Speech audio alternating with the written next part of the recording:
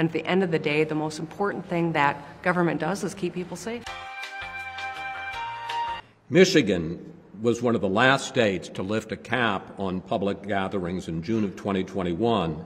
By comparison, Florida lifted its cap in September of 2020. But the death rate for Florida from June of 20 to June of 21 was 39.6 per 100,000. The death rate for Michigan was 97.3 per 100,000, so more than double. Keep people safe.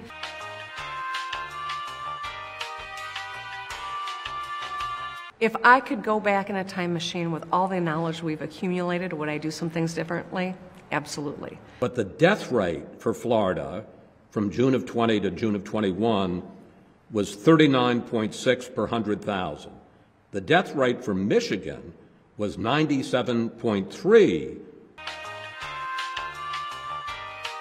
we still have very strong measures to keep people safe.